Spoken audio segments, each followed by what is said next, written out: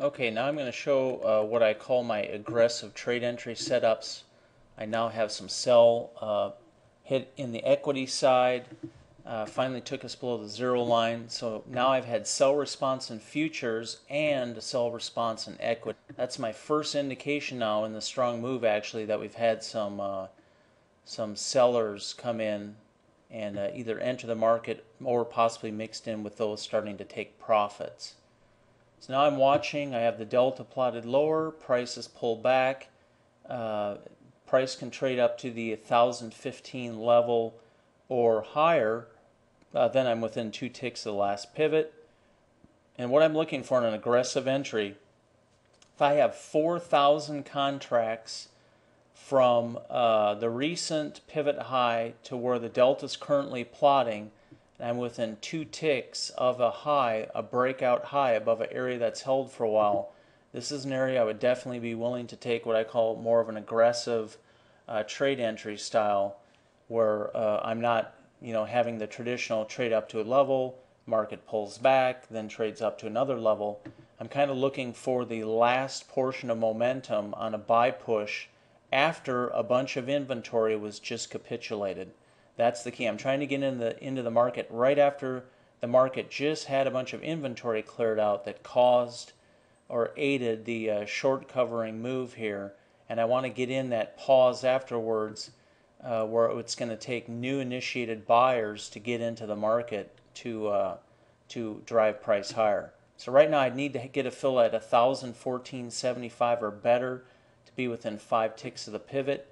As you can see, uh, delta obviously is much lower than the high plot when we touched 1016. So I'm standing by getting ready to get in this trade uh, now that I have uh, over 4,000 contract differentiation from the high plot to where the delta is currently trading, or plotting I should say. And like I said, this is what I consider an aggressive sell entry. It's basically I'm playing that the order flow or the inventory that was held off these highs has now been neutralized. So there's not a bunch of new inventory that can be utilized uh, to advance the market higher. It's going to take new buying in futures and in the market to advance price. So anyhow, we touched 1,015.50. We touched the uh, two tick from the high part. I've got my 4,000 contracts and I can get 1015 uh, traded right here. So I'll try for uh, 1015 quarter. If not, if I see this uh, level start to dissipate, I'll try to get in here at 1015. That'll put me within five ticks of the most recent pivot.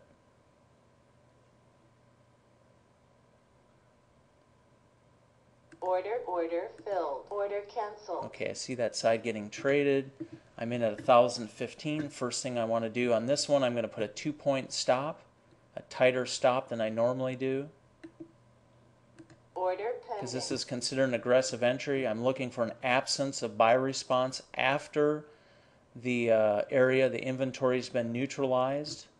And I'm also going to be uh, more aggressive uh, on the exit of this sort of position too, because now I'm looking for price to come back to the areas that were bought prior to the market running up and then uh, basically pressing these holders of this of the sell inventory and pressing them out of the market. So in this case, I'm going to analyze, and it looks like we'd be right in the uh, 1010 area and lower, where the buyers came in that uh, that kind of initiated after this first pullback the drive up to new highs. So I'm going to be looking for taking off at least half my position uh, in this 1010 area or higher. Now 1010 will put me at 50, at five point target, and uh, you know I might get a little buy support just above that, so I'll go for four points Order pending. for half of my position.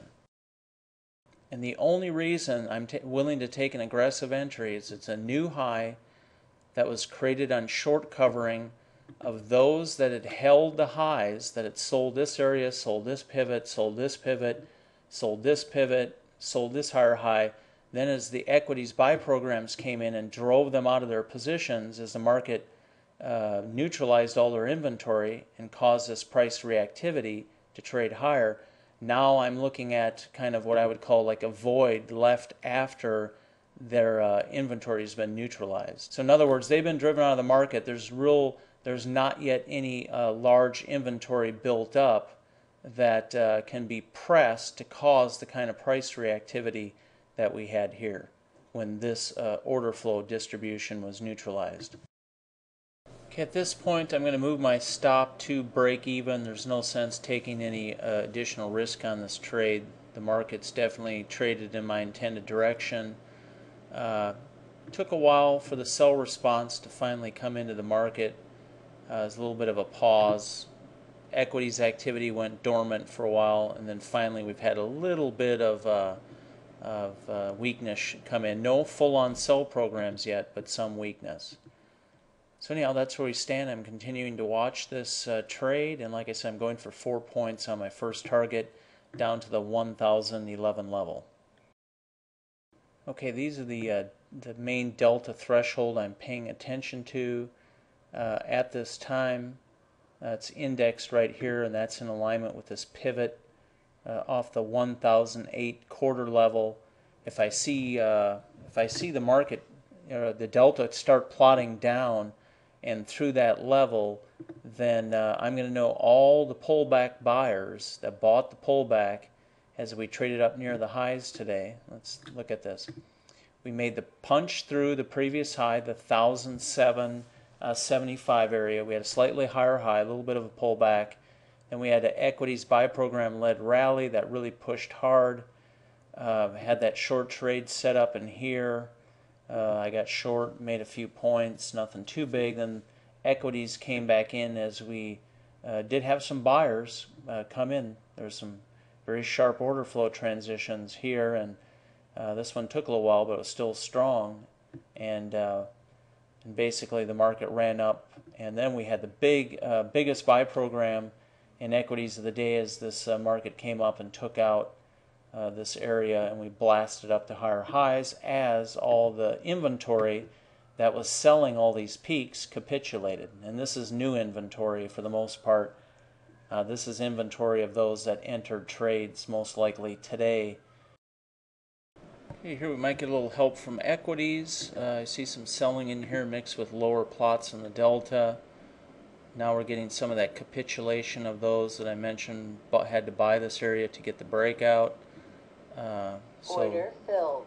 Okay, we're filled. I'm immediately going to adjust my trade to reflect my current position size. I'm going to lock in a point and a half of profit, have a risk-free trade. Now I'm going for uh, kind of continuation of buyers in here to, to panic that bought the pullback. Basically, they buy the pullback to the previous high uh, area you know, just above it. And now as the, the market trades back towards the entry levels of where they enter their positions and presses them, uh, I want to see the reaction of them potentially covering, coming down and giving me uh, another fill. If this uh, target gets filled, then I will most likely lock in uh, probably three points on the last three contracts and I'll just leave those trades on. I'll leave them through the overnight session. We're one tick away from uh, getting our, our uh, position filled at six and a half point target. Order filled. Okay, now we're filled. So now I'm going to adjust. I'm only holding three contracts. And I'm going to go ahead at this point and I'm going to lock in three points of profit. Okay, it's a Sunday night aftermarket session uh, started 5 o'clock Central Time. Uh, markets still trading down slightly. Uh, we are now up trading the 104.75, 1005 level. That would be uh, 10 points from my 1015 entry at 105. So I'm going to go ahead. And uh, thin off one of these positions at a 10 point target. It's profit. So anyhow, we just hit our 10 point, hit a 10 point target, thinning out the position a little bit going into the after hours session. You never know what can happen then. And then going in the cash session tomorrow. So that's where we're at. Uh, some slight weakness so far. I'll be tracking this uh, most of the night and uh, see what we get.